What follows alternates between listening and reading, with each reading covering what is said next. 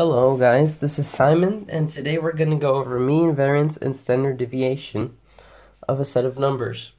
So let's say the set of numbers is 1, 2, 3, 4, and 5. This is our set. But first of all, I want to do a little review. So, you know, the median is just the middle term, that's 3. And the mode is the term that shows up the most. And as you can see, there is no mode here because they all occur the same amount of times. Now, the mean, you should also know this already, is the sum of the terms, 1 plus 2 plus 3 plus 4 plus 5, divided by the amount of terms, and that's 5. And that's going to be equal to 3, 6, 15 over 5, and that's 3. So the mean is 3 and the variance, there's actually two different formulas for that. And one of them, you take a value minus the mean, you square it, you divide it by, uh, and then you take like the sum of it. So it's like this.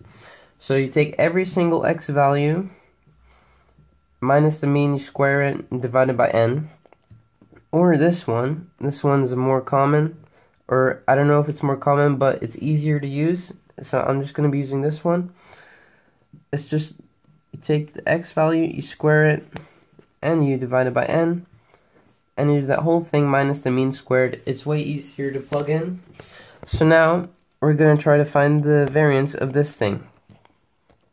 So, by following this, you do 1 squared, plus 2 squared, plus 3 squared, plus 4 squared, 5 squared over 5 minus the mean squared, which is 3 squared.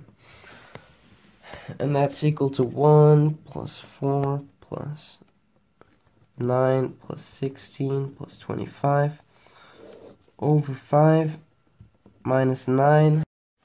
And that is equal to 2.